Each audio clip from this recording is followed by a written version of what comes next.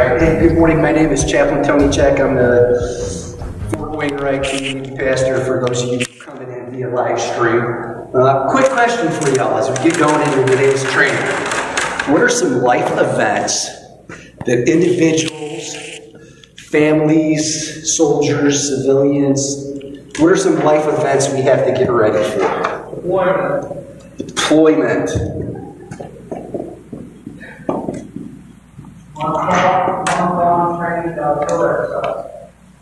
FTXs.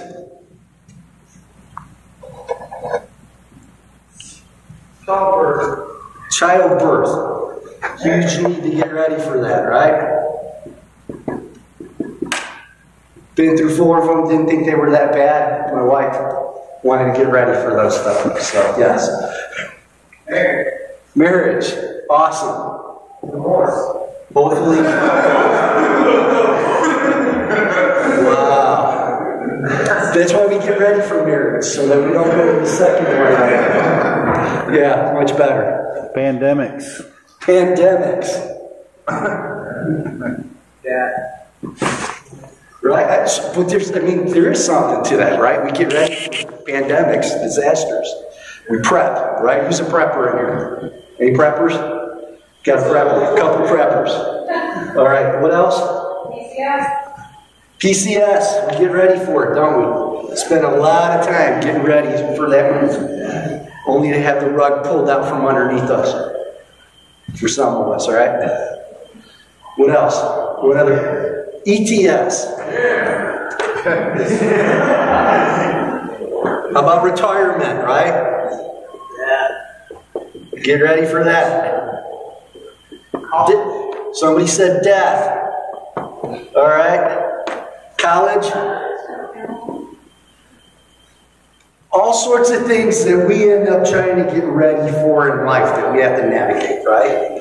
So, what are some of the impacts of not being prepared for these life events? Financial extremes, right? Stress. How much stress? Tons of stress. Go on a deployment and don't have a power of attorney for your wife, right? Or for your family member staying at home. How, how much stress is there in that? Well, some other some other impacts for not being prepared.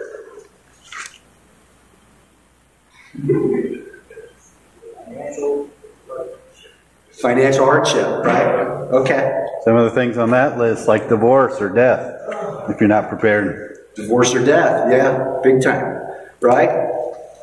So this morning we are going to talk about one of Army Materiel Command's, uh, one of the CG's priorities and strategic support areas of focus, which happens to be service member, civilian, and family readiness, right? So uh, what we're going to do with this is a couple different things. One of them is it's going to be very heavy on doctrine, right? Uh, and I'm going to give you the why up front. The why up front is because these are things that our branch has written, right? It's defined in our regulation, it's defined in our training manuals and training guidance. It's the thing that our branch wants to communicate not only with us who are out in the trenches doing the work in the ministry, right? But it's something that they want to also communicate across the rest of the army. They want the rest of the army to know something in the lines of readiness for us. So we're going to talk about a whole bunch of doctrine. And then the second half of this is we're going to talk about planning and integration. And what I'm going to do is, is uh, I just want you to know on, on this first one, uh, you see this task number on that. That is not the actual task number for readiness. That's actually spiritual fitness task number, right? Uh, there is no direct corresponding task in the Army that says plan readiness events for chaplains. Instead, you're going to see in just a little while some of those areas that we break it down into. All right? Uh, Sergeant Daffron wanted a joke this morning, so uh, under no circumstances is this training supposed to be conducted in mock gear this morning. right? Thanks, I appreciate you laughing. So, uh, some of the references up here that I'm going to be walking through this morning, uh, not all of them but a good chunk of them are, you're gonna actually see up there on the screen, and we're gonna take the time to, to read through those things a little bit, as exciting as that is. Uh, and then some of the other things, vision statement, uh, I will send this out, this is an older one. I thought I had a newer one, uh, that talked about soldier, civilian, and family readiness. I've got to dig it up and see if I can find it. They don't have it posted uh, under memorandums and those types of things on Army Publishing yet. So, uh, and then the chaplain course journal, right? So let's shift a little bit. Another set of questions up here. What kind of meetings, exercises, events have you been to organize, participated in? Think about your units, right? Since you've been in the military, as a battalion or a brigade bubba, or even garrison, what are some of the events that you have participated in that have been concerned about readiness? BHPT, What is it? BHPT, BHPT? uh, Brigade, um, Promotion Council, yeah, that's it. right? So the Brigade Health Council meeting. Okay? What else? Newcomers brief. Newcomers brief. What's the purpose in that? How does that help you get ready? Oh yeah, when the soldiers arrive, I'm supposed to put some down. Get them set up right away. Sure, get some squared up. Where do I go for CIF? You know, what are their hours of operation? Uh, what's my training status? They're typically going to do MRT training. They're going to do a little bit of sharp training, EO training. Uh, they're going to do ACE training, right? Some of the things that we do here at post to help soldiers get what? Ready, right? All right. What are some other meetings, exercises, events that you guys have been to or participated Well, in? here, the quality of life working groups. Okay, and what do they do at those? Yeah, they help to improve the quality of life so soldiers can be more resilient and ready. Okay. Strong bonds. Strong bonds. How does that help? Healthy marriages link up with soldiers. You got it, right? If, if the family's not in good health, then that soldier's gonna have all sorts of problems and struggles and trials. If you ever gone on a deployment or been in an FTX, what happens when you have soldiers who have a marriage falling apart at home? They, they, they go home. They maybe go home early, right? So, somebody had one back there. FTXs. Okay. How do those help us get ready? I think it, uh, so, it gets you on the mission, it helps you, uh, actually be able to do that on point. But it also gives your family back home in case it's not happening there. So if you get them ready mentally, you not be that kind of as well. Okay, so it may prepare them for what could come for an extended period of time, right? Me and staff. Command and staff, how does that help with readiness? It gives the chance and the opportunity for the commander to communicate the, the different things that are going on with the, the unit, um, at least once a week, once a month, whatever it be, um, whether in, so what's happening with S one, what's happening with the chaplain, like what, what all is everyone bringing to the table. Okay, so typically you have schools talk at those, right? Who's attending school, who needs school, Retention, what schools are coming up, you have retention so that the unit can track what's overall readiness, right? What's the strength, right? S1's gonna talk about who's coming, who's going, what's the strength of the force, right? All about readiness in some way, shape, or form. Any other ones that you can think of? Big, little? PT? Okay. Physical readiness, and you gotta do as well, but it's mental as well. But you know, it's, I got, I got, And then you also have, come to training, okay? uh, services. Chapel services. Okay. Spiritual fitness, that enhances spiritual fitness. It does, doesn't it? The, the spiritual fitness component. You, you have, No, I was saying that, uh, I was, I was saying that, uh, okay, let me, let me this way. Uh, NWR training, um, trips, trainings, kind of trips. NWR MWR trips. trips, yeah. Okay, they kind of help help enjoy life a little bit, right? Sure, we can put that on there. I thought somebody said UMT training. You. You said UMT training, right? So how does that help us get ready? Oh, that's where we are right now. Right? Well, we talk about issues and concerns, right? That, that either help or hinder us from doing our job. Like, like operating in a pluralistic environment, right? For one thing. If we don't know how to do that, if, if we're rusty on that, if we're struggling with that, right? Maybe we're brand new chaplain or, or a brand new religious affairs specialist coming. And so to sit through a training like this, it gets them, it gets you ready to operate a little better, right? With a little more knowledge, a little more skill, a little more. Why do I help other individuals who are very different faith groups from myself? Why do I help those individuals, right? So, any other things you can think of? Gunther, go ahead. Spiritual PT. Okay. Uh, clips, Clips. Tell us about clips.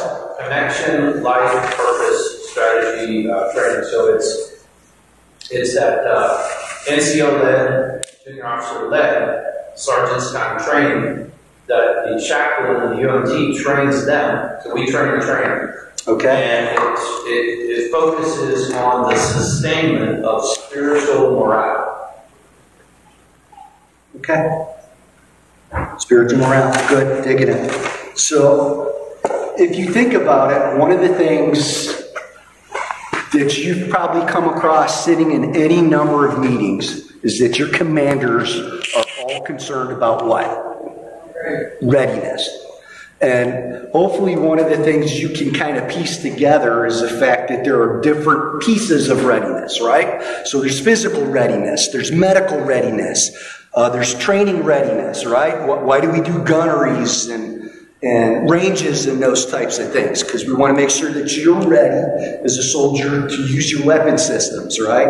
Uh, why do we do physical training and, and PT tests to make sure you're physically fit and that you can meet a, a, a minimal standard to, to do your mission, right? Over and over and over again. Commanders are all concerned about readiness. So this is the IMCOM slides, right? Just take a second, you can kind of see some of their priorities, right? Some of the things they want people to know. This is what we're all about. And look at how those things end up tying into readiness, right?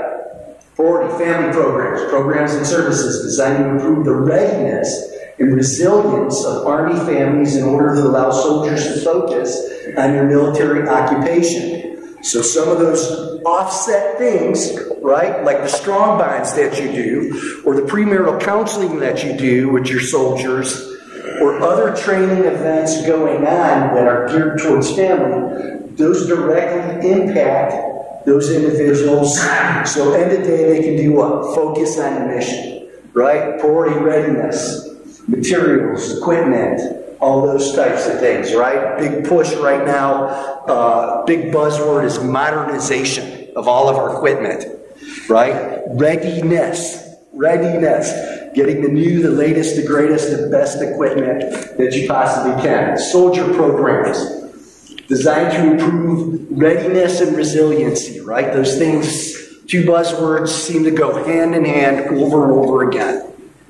Uh, priority support the training, priority infrastructure, right? All these things as priorities going on, all feeding into this, making us a resilient and a ready army to do what it is that we have to do. So, if, if anything is a takeaway today, one of the things you need to go away with is the fact that this is major. This is something that, that our commanders at every echelon are concerned about. Readiness in some way, shape, or form. And so, what that ends up doing is if you have readiness issues as a unit, then that means you have minimal combat power. So, if Gunther is worried about his new marriage failing. He's not ready. Why? Because his head isn't in training, his head isn't in employment, his head isn't in operating equipment safely. His head's in my readiness issue, my resiliency issue, my family problem, that thing going on in life, right? And so the other takeaway in this is that we as UMTs, one of our key functions is we assess components of unit, ready, of unit readiness and advise commanders on those readiness issues. And then we turn around as part of our CMRP, we tell them, hey sir, hey ma'am, these are things that are going to help your soldiers in the area of readiness. Okay? So, what do you think civilians around here? Why do you think, why do you think when we talk about readiness, we talk about not only service members, right? And, and notice that terminology, it's a change. It's a shift. It's recognizing that we have service members from other branches, that most of our installations, that we've moved to many bases that are, are joint bases, right? So you may have Air Force and, and Army, you may have Marines and Army, you may have Navy and Army at a given installation. Uh, coming from Fort Leonard Wood, we had Army, Navy, Marines, Air Force running around, all four branches. We even had Coasties running around, right? Um, so, why do you think we talk about DA civilians being a part of this conversation? Because they are an integral part of the DOD. Huge part. yeah, Any idea what percentage there were? I don't. Okay. Look, look around, it's pretty huge, right? Yeah. Uh, I, I know the last installation I came from, there was one civilian for every soldier working on post, right? Huge percentage of our workforce. They provide continuity. What are some places you might find those civilians in your organizations? Our, our DRE, we got one, right? DA civilian? Hospital, big time. Doctors, nurses, tech, tech support, uh, all sorts, right? Maintenance, you name it. The the Garrison, um, XO, Pearson XO is a DA civilian, right? Yeah, so sitting in our battalions, right, in our warfighting units, we don't see a lot of civilians.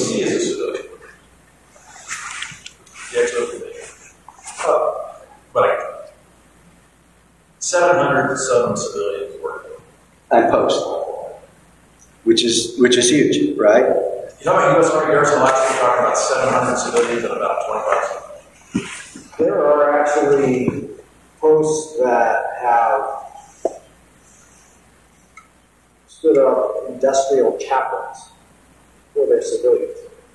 Chaplain does not have a unit whose whole mission is the civilian. Okay. There you go, right? So they are interspersed in all of our units. So if you go to some of these types of units in particular, you're going to see more and more civilians as a part of it. And so I didn't want to take the, I wanted to take the opportunity not to miss it, right? So let's talk about some of our doctrine, right? And, and I know this is incredibly exciting, this is what's out there. So this is AR 165-1, and it talks about all commanders at Army Command, Army Service Component Command, direct reporting unit level and below. Religious program for the Army is the commander's program, right? So when we talk about programs that we do as chaplains, it's our commander's program, right? And so you can see some of those things provide equitable support for religious, moral, and ethical activities of all personnel in your commands, provide opportunity, time, facilities for free exercise of religion, accommodate special religious practices of personnel in your commands, ensure and resource the chaplain-led training program. So when we start planning readiness events, right? The funding instrument is our command for it. But look at what it says there on the very bottom. It says support chaplain led programs that build and maintain individual and family readiness, resiliency, and moral well being. That's our doctrine, right? That's Army regulation. That's a mandate of what we do. Another one, right? So AR 165-1, paragraph 9, 9, 9, 9, 10, 616, it talks about moral leadership training, right? Being one of those things that can enhance readiness. What are some ways in which not having a morally fit unit impacts readiness? People can die. What are some other things? Get in trouble, get in trouble and not be full strength. Not be in full strength because you're chaptering people left and right, right? If your leadership's morally unfit, they're definitely not taking the needs of their families and the, the moral responsibilities of their soldiers into context, which is going to immediately result in families that are not ready, they're not resilient, struggles there. 100%, right? It adversely affects the morale. It affects the morale, right? There's no trust. If, if morale is bad, if there's no trust because you have a morally deficient command, there, there's no trust, there's no cohesive teams, that has second and third order effects on that unit, right? So, you know, and this is one of the things that the chaplain corps has recognized. Think about in your unit in particular, right? How many meetings does your commander have with the JAG? Right? On the brigade level, how many how many meetings does your commander have with their subordinate commanders over moral leadership or, or moral failures within the units? It impacts readiness, right? So that's one of the areas you should tuck in the back of your head is in this area of moral leadership training and ethics, right? As, as areas where we as UMTs can impact readiness. And our doctrine says, whose lane is it? It's ours. Right? So you look down and it says in 910, it says many moral issues affect the lives of soldiers, civilians, families, impacting the effectiveness of service, command climate, unit readiness, and cohesion. And then it goes on, relationship resiliency training. Chaplain Corps provides training to individuals, couples, families to develop skills that enable relationship resiliency and therefore readiness. See again that direct link between being ready and resilient in the programs that we end up providing in the area of relationships, right?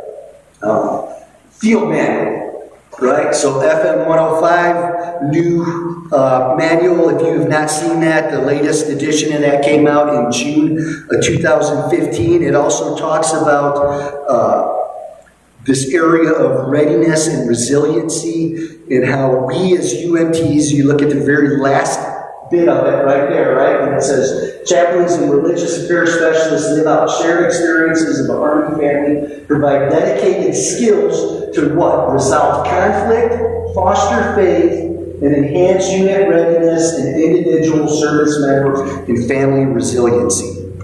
So, summary of the, the FM 105-1, it says religious support personnel assigned to formations in an Army task with providing joint force commanders operationally significant and sustained land power must train, prepare, and assess individual and collective readiness to provide religious, sort, religious support to forces engaged across the range of military operations providing meaningful religious support to service members, families, and authorized civilians can occur under widely differing circumstances with rapid and unpredictable transitions, right? So, again, what they're saying is that our job as UMTs is to have a piece in this conversation when it comes to unit readiness where we have to help train, we have to help prepare, we have to help assess individual and collective readiness of the force going on, right? And so what do we do? Our ATP says to improve readiness, we do this thing called internal advisement. We have this conversation with our UMTs, we have this conversation with our with our commands, about what they need within their command to help in this area of readiness.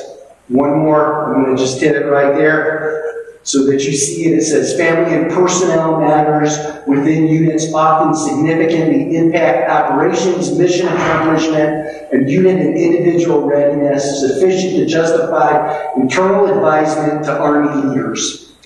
And some examples they give from there that that are areas where we can uh, advise on or that have impact are listed there underneath, right? And then, of course, obviously, the religious support piece. We talk about spiritual fitness is kind of the doctrinal shift of terms in there. It's religious support slash spiritual fitness of our soldiers, right? The religious component of it is something that they want you to see. So I want you guys to see something that the chief wrote, right? Will somebody read that for me? General McConnell, the Chief of Staff of the Army, recently, reminded us that when our Army deploys, we don't go to participate or to try hard. We go to win. Winning matters. I couldn't agree more with General McConnell. Nested within our armies, non-negotiable uh, contract to fight and win our nation's wars is the Chaplain Corps' unique purpose to build Army spiritual readiness by caring for soldiers, their families, and Army civilians across the full spectrum of conflict. Our Corps does, does this by being a world-class, fully integrated network of Army religious support professionals who are known as their in, in, get that, and critical contributions to enhancing readiness. Then the Army looks to us for uh, leadership and direction. No other branch is, is uh, charged with this solemn responsibility. So to Barney that down, right, to, to make it as basic as it can be, is our chief is saying that we're supposed to be top-notch religious support professionals, right? integrated into the network of Army religious support professionals, fully integrated, right? So, fully integrated within our units, within our commands, within our garrisons, all those things, so that we are known at the end of the day for contributing something to this area of readiness, right? He's saying this is our fight, that's what he expects, that's our mission. So, uh, one more area, right? Some of you have maybe seen something like this in your units before. Have you ever seen the lines of efforts for your units? Maybe you do this in the context of a uh, medal briefing or kind of a state of the union, state of the organization type brief that typically a uh, battalion, that company commanders will do battalion commander, battalion commander will turn around and do to brigade commander, brigade commanders will turn around and do this to a division commander or CG, right? Again, this whole area, this is from a couple years ago, but soldier, civilian, and family readiness, right? This is a priority of our commanders again, over and over again. And I've seen these. This is uh, from the Maneuver Center of Excellence in Benning, the one that we had at Fort Leonard Wood for the Maneuver Support Center of Excellence was just about the same. Uh, one of those things that's recently come to the forefront is this maneuver force modernization, right? Uh, but a lot of it before that was this emphasis on training and developing leaders, right? Which isn't going to go around. So the bottom line, we need to understand that our commanders are concerned about readiness. Our doctrine says that we have a significant role in this area of service member, civilian, and family readiness. And some of the ways in which we contribute to this is by marriage and family programming, moral leadership and ethics training, and then by our spiritual fitness plan, right? So let's go ahead and look at a task. Uh, I pulled out a task. This is actually the task on conduct spiritual fitness training. It's something that you can use to adapt in this area of, of readiness training, right? As you think about readiness training, one of the things you want to do is look overall what's the What's the program going to be? What is it that I'm going to pitch to my commander? And I know our last training was in the area of CMRP, right? and uh, having that ready, but this fits into it where we begin to look at nuts and bolts of individual programming, right? And so, what are those steps, those performance steps? And I'm not going to read every one on there because you can look at it, but we want to determine the need, goals, and purpose of the event, and we want to assess the needs of that group. And they give us a couple of ways in which we're able to get at what's the need. And the bottom line of that is talking to people in some way, shape, or form, whether it's written communication to figure out what it is that they need through a survey, or whether it's talking to people, or whether it's just walking around and looking at what's going on in a unit. What do your eyes tell you, or what do you perceive as areas where we need help in an organization, right? You develop goals for that for that event, right?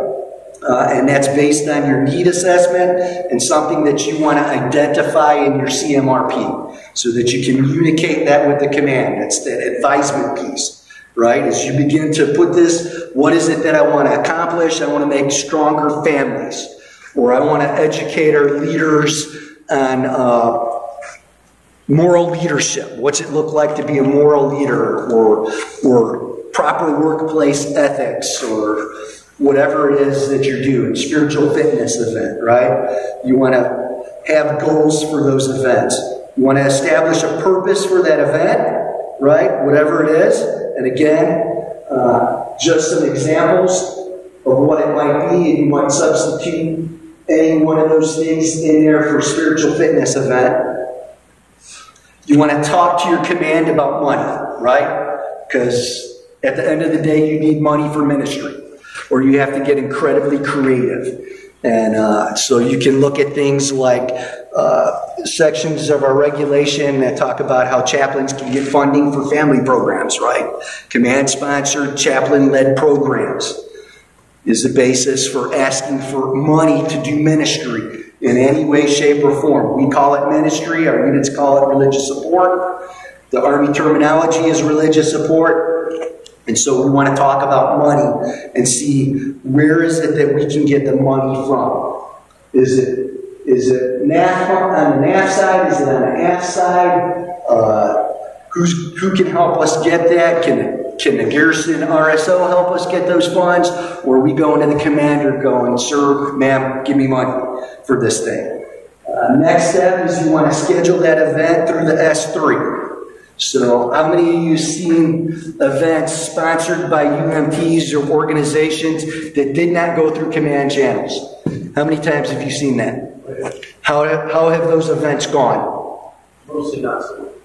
Mostly on the downhill slide, right? Oh, well, hey, chaplain, we've got a gunnery going on at the same time. Can you move that thing? Uh, hey, chaplain, no, we're actually going to be at. I, I remember one of my fellow battalion chaplains, he planned something for his organization. His command told him, hey, chaplain, we're going to be at JRTC during that time. What are you doing? Go away, right? That need to integrate and talk to your S3 shop about coordinating the date, time, and location of the event, putting it on the training calendar, right? And then talking with those company commanders and first sergeants to deconflict and make sure that they're tracking those things, right? Uh, the next performance step that we're supposed to do is we're supposed to be talking to both our commander and our supervisory chaplain. Hey, sir, hey, ma'am, this is what we're trying to do. This is the time frame of when we're doing it. This is what we're hoping to do it. Do I have green light to go ahead and still do it on this timetable? And the benefit of having that conversation is when I turn around and I ask that commander, hey, can you fund this? What do you think they're more likely to say? Yes, right? So, but to take the time to put it on your grid that it's coming. We want to coordinate logistics support for that event, right? Uh, we want to publicize that event. Where should we publicize those events? As UMTs. What's the way to publicize those things? Probably the most important one, right, would be frag order. Why do we want to do frag order?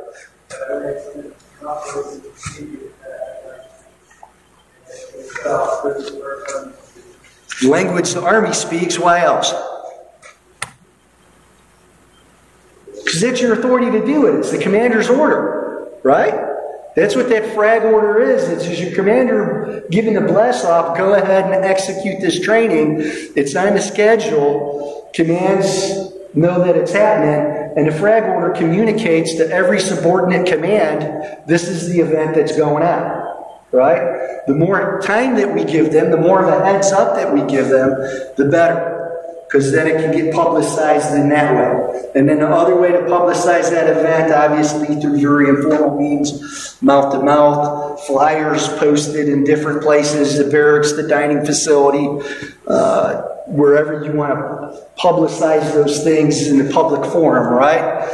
And then you want to conduct that event, right? Whatever it is. Uh, one of the performance steps they say is that as you go, not only uh, as you conduct that event, you should get interaction and feedback from the participants.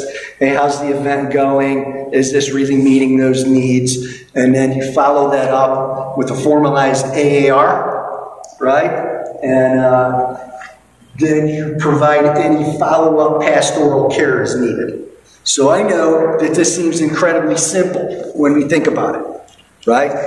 Uh, we're sitting here going, chaplain, really? We're having a we're having a, a training seminar on soldier, civilian, and family readiness, and we just walked through how to do an event, right? So I'll remind you of our audience. We have soldiers in this organization that have never been in a battalion before, right? So this hits a need for them. For those of us who have been doing this for a minute, it reminds us of what right looks like right? Uh, to take the time to walk through the doctrine tells us what our branch expects of us and what our branch is communicating with other individuals across the army, right? You're expecting that in some way, shape, or form, you're sharing these things with your commanders. And maybe your commander is actually reading that, some of that doctrine, right? And so, uh, performance measures, we don't have to take the time to walk through those. Those will be in the slide deck that you get. But uh, if we were actually grading the conduct of a spiritual fitness training event or an event, some, some measures kind of as a quick, hey, what are some things that I should think about? So one thing I noticed that uh, Chaplain King got put in uh, before he left uh, with the risk assessment, like especially when it came to strong arm. So um, he wanted uh, he wanted us to, to do a risk assessment and, and actually submit it to him, which I think he had to, to pass on to chapter B. So that was actually Dr. In, that mix. In that, yeah, it would be. It would be. So it's going to vary by command, Yeah. right? So I, I've been in organizations where every training event, commander wants a risk assessment, commander wants risk assessments for PT that we conduct, right? Or that gets conducted on a, on a daily basis in their organization. And then some are going to go, yeah, no, we don't, we don't need that level of it, you know? Uh, but that may be something you want to think about. What are the risks? With COVID, probably now. Well, well, yeah, you know, I mean, so this environment, what are the risks of doing an, an event down in Anchorage? Yeah. I've got people driving six hours, seven hours to go to a training event. You you know, what are the what are the risks?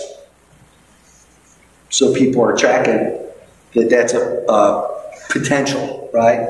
Um, I'm going to blow through these. I'm not going to do these. A reminder uh, sometimes we need to think about other organizations that can help us in readiness, right? Like FAP, like ACS, like the financial money management folks uh, hired through ACS. Maybe behavioral health is somebody who can help us out. Combat stress control, if your unit has a suicide or, or an unexpected death, those are other organizations or groups that can help us in our fight against readiness, right? Um, that you need to maybe be aware of. Hey, how, how can I partner with them? How can they help me? Or maybe this is just a huge need. I see it, and, and I recognize they've got a skill set that can scratch an edge in my unit, right? Uh, and it's still our lane. So quick check on, uh, on learning, what, why do we need to understand readiness from our commander's perspective?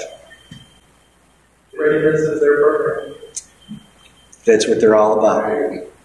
From SRPs to brigade health promotion councils to high risk soldier meetings to you name it. They're all about readiness, equipment readiness, personnel readiness, and our piece in that is that human dimension, right? Their, their spiritual readiness, uh, their relational healthiness, right? Uh, their moral and ethical foundation is part of what we do, right? Um, why care about it as a UMT? It's our lane. It's our lane. So, uh, any questions?